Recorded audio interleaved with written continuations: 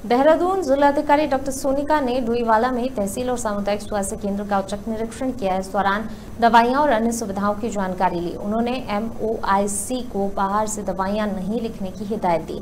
अस्पताल में बेड, दवाइयाँ, उपकरण आदि की पर्याप्त व्यवस्थाएँ रखने के निर्देश दिए। इसके साथ ही कहा कि डेंगू के दृष्टिगत व्यवस्थाएँ बनाए। निरीक्षण के दौरान नायब तहसीलदार शाहदाब, सहायक निदेशक सूचना बीसी नेगी आदि उपस्थित रहे। देहरादून से अवनीश गुप्ता की रिपोर्ट।